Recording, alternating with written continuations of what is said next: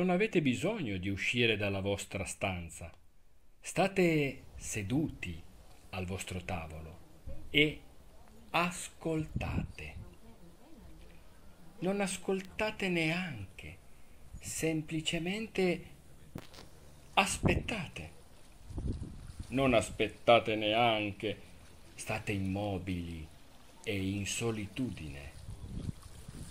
Il mondo si offrirà liberamente a voi per essere smascherato. Non ha scelta. Rotolerà in estasi ai vostri piedi.